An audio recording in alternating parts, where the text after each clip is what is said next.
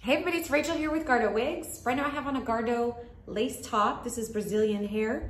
This is a lace top, lace front. It has ear to ear, an ear to ear lace front and no ear tabs. This is closed wefting through the back. These are neutral tones in this wig.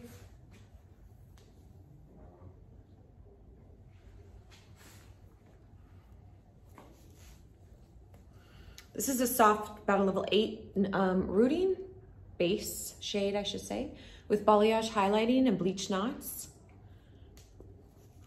Closed wefting with adjustable straps, combs, and an ear-to-ear -ear lace front. No ear tabs on this one. And I'll put a link below to this exact small to medium cap Gardeaux um, lace top wig. Thank you.